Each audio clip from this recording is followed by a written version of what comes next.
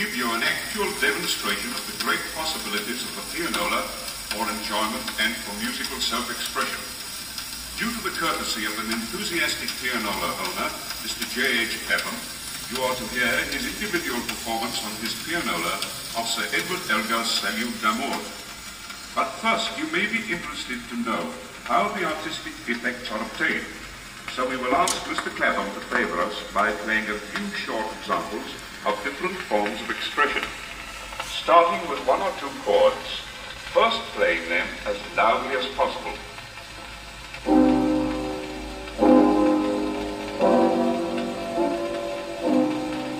Now the same chords quite softly.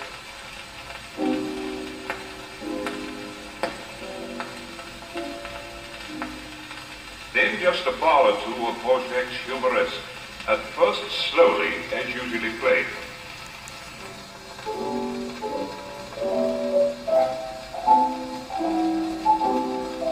And now to illustrate the wide range of tempo control, Mr. Clapham will play the same notes much faster.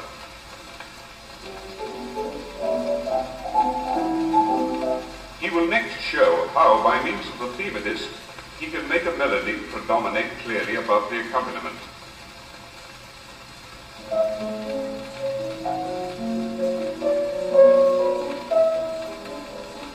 And he will now use the special pianola feature of the graduated accompaniment. You will notice that while the melody is still clear and distinct, the graceful arpeggios are proportionately prominent.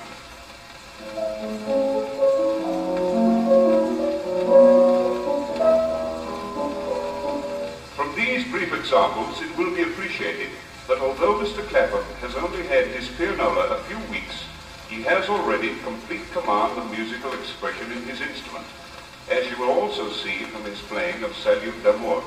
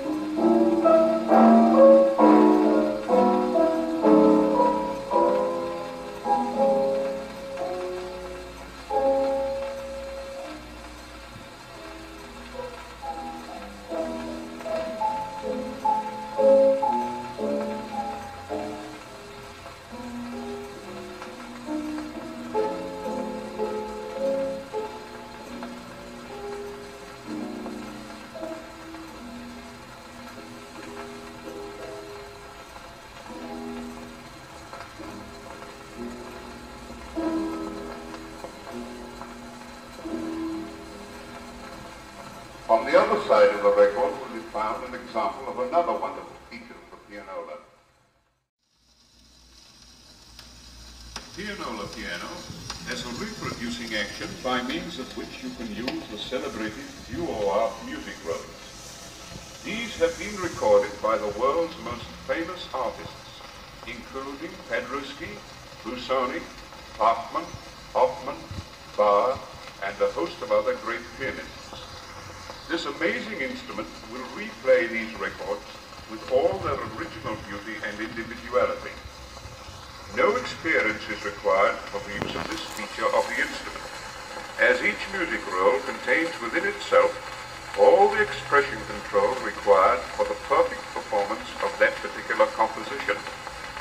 There are duo art rolls to suit every mood and all occasions, inspiring classical works, popular pieces, and dance music. In short, the best of everything played to perfection. You will now hear Percy Grainger's interpretation of To Spring by Grieg, played upon the pianola piano by means of the duo art music roll.